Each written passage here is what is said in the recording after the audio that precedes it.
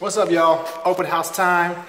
5622 Kenilwood. Been here for about one hour so far, man. Had three couples come through, so glad to see that this house is getting some activity that makes me feel good.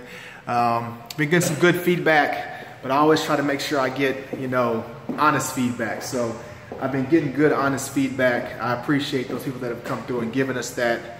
You know, really, not only does it help me uh, understand what people look for when we're doing a flip for this particular house, but it also gives me insight to what people want whenever they're looking at homes in terms of flips and stuff like that. So it's been awesome.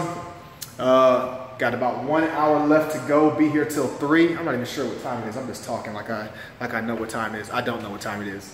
So about one hour. Uh, been good so far. Come on through if you have time. 5622 Kenilwood Drive, Houston, Texas. I'll be here. Talk to you later. Bye.